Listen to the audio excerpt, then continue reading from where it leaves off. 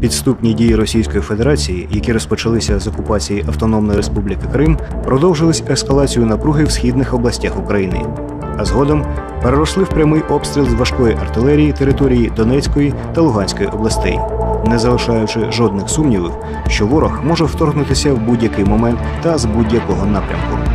Найбільш вірогідними є південні та північні рубежі нашої держави. Голова Державної прикордонної служби України Микола Литвин протягом тижня перевіряв готовність сил та засобів Донецького прикордонного загону, підрозділів Азово-Чорноморського та Південного регіональних управлінь до оборони державного кордону в особливий період.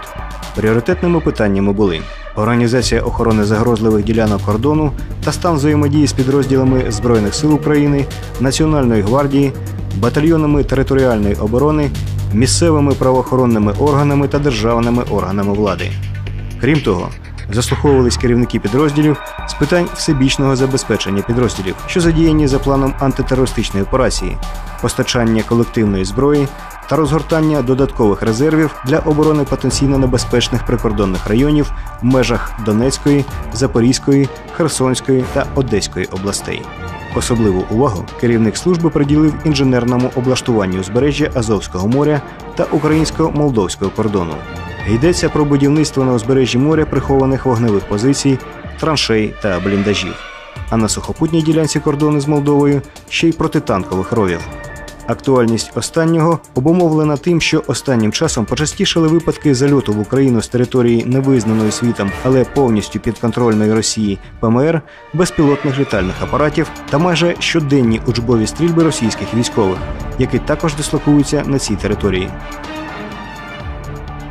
Ми розпочали інженерний сезон, і інженерне облаштування державного кордону України йде по всіх ділянках, і по українсько-російській ділянці кордону, і по українсько-молдовській ділянці кордону, і на перешийки.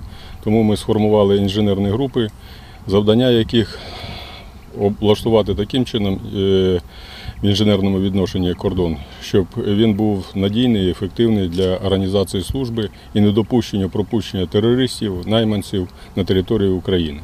Оце головне завдання. Тому такі групи створені, вони працюють, і ви бачите, що це йде реальна робота. І реальна робота йде і з точки зору е, взаємодії з е, всіма силовими структурами, і взаємодії з місцевими органами влади, і з патріотично настроєними громадянами, які приїжджають, надають послуги, надають техніку. І такими спільними зусиллями ми облаштовуємо свій кордон. Що стосується застосування батальйонів територіальної оборони, то на сьогодні це дійсно реальна допомога штатним прикордонним підрозділам. Тому стан взаємодії з ними є досить важливим аспектом охорони кордону, а в подальшому можливої його оборони. І другорядних питань тут немає. Важливе все від місць їх базового розташування до визначення секторів відповідальності.